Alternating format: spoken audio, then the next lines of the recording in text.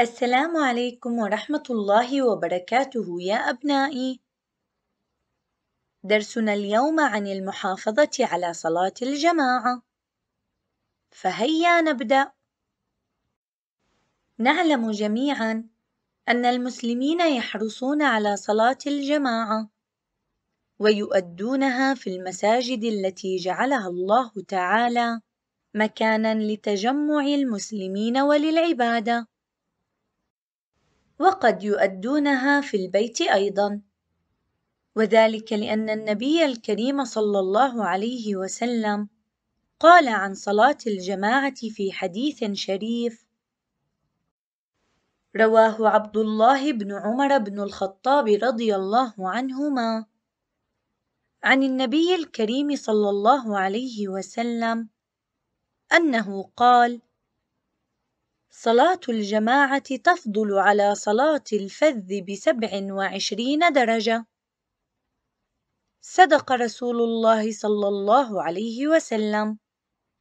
والآن يا أحبابي، هيا نتعرف على راوي الحديث الشريف، ثم نتعرف سويًا على معاني الكلمات الهامة التي جاءت في الحديث الشريف.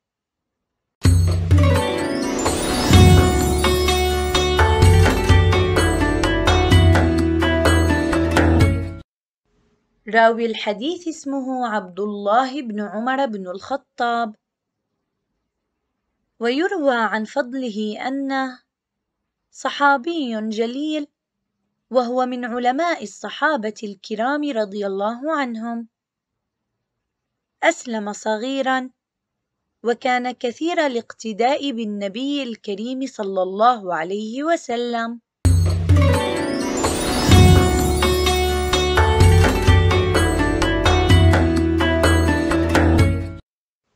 والآن ماذا علينا أن نفعل يا أحبابي؟ أحسنتم أنتم مجتهدون علينا أن نتعرف على الكلمات والتراكيب الهامة التي جاءت في الحديث الشريف وهي صلاة الجماعة أي أن يصلي المسلم مع غيره من المسلمين في أي مكان طاهر تصح الصلاة فيه منفردًا. كذلك من التراكيب الهامة التي جاءت في الحديث الشريف يا أحبابي،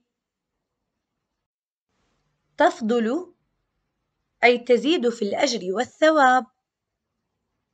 صلاة الفذ أي صلاة المسلم وحده. رائع يا أحبابي المجتهدين. ومعنى الحديث الشريف أنه يجب على المسلمين أن يحرصوا على صلاة الجماعة لأن لها أجرًا عظيمًا. فقد فضلها الله تعالى على صلاة المسلم منفردًا بسبع وعشرين درجة كما أخبر النبي الكريم صلى الله عليه وسلم. فلو افترضنا يا أبنائي أن أحمد قد صلى الفجر والظهر والعصر والمغرب والعشاء منفردا. وصلى عمر الفجر والظهر والعصر والمغرب والعشاء في جماعة. سنجد أن أحمد قد نال في نهاية يومه خمس درجات فقط في اليوم الواحد على صلاته.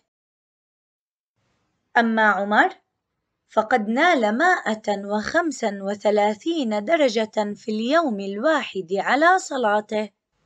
أليس هذا شيء عظيم؟ أن يجد المسلم يوم القيامة في ميزانه درجات كثيرة بسبب صلاته. نعم هذا أمر حسن. فاللهم ارزقنا صلاة الجماعة دوما وارزقنا أجرها كاملا يا كريم حي على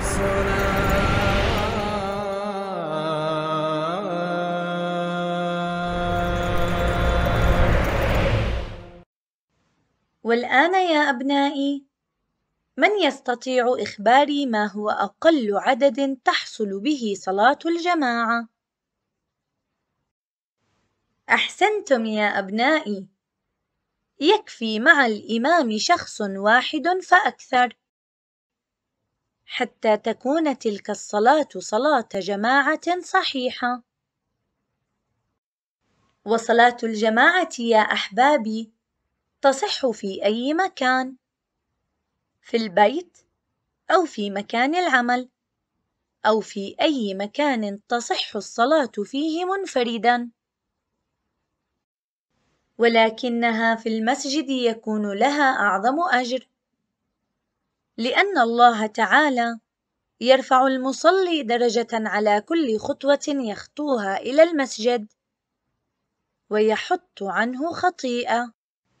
كذلك الملائكة تدعو لمن حضر الصلاة في المسجد بالرحمة والمغفرة. والآن يا أحبابي من يستطيع إخباري؟ ما هو ترتيب المصلين في صلاة الجماعة؟ رائع يا أحبابي. يقف الإمام أولاً. ثم خلفه الرجال والأولاد في الصف الأول. ثم النساء خلفهم في الصف الثاني. ويجب أن يتم تسوية الصفوف. ومتابعة الإمام وعدم سبقه بأي شيء من أعمال الصلاة والآن أيها الأذكياء من منكم يستطيع إخباري عن آداب صلاة الجماعة؟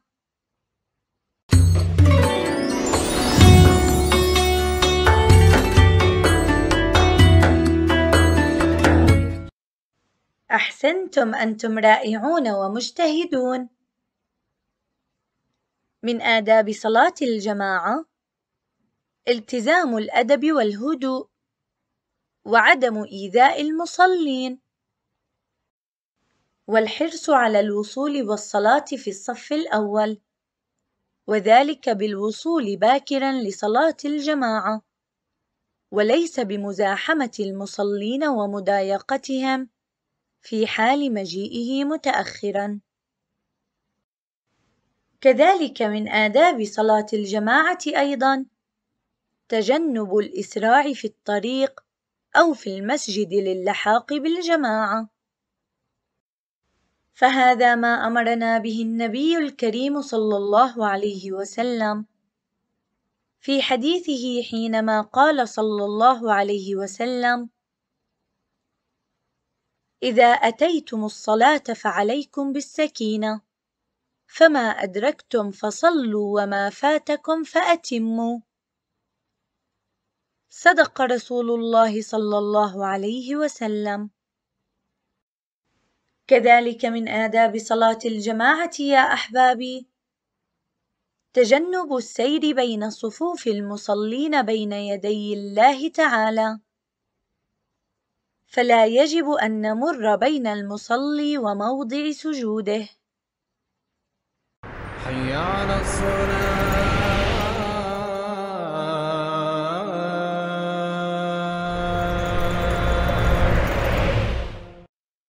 وختاما يا أحبابي نكون قد تعلمنا اليوم حديثا شريفا عن فضل صلاة الجماعة والذي ذكر فيه الرسول الكريم صلى الله عليه وسلم أن صلاة الجماعة تزيد عن صلاة الفرد بسبع وعشرين درجة في الأجر والثواب.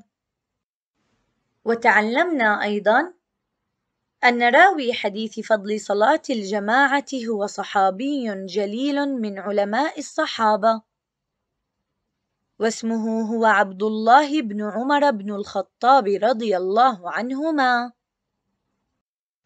وتعرفنا أيضا على أن من آداب صلاة الجماعة. الهدوء والسكينة أثناء الذهاب إلى المسجد. وفي المسجد أيضا بعدم إزعاج المصلين. الحرص على الوصول باكرا إلى المسجد للصلاة في الصف الأول. تجنب السير بين صفوف المصلين والحذر من المرور بين المصلي وموضع سجوده.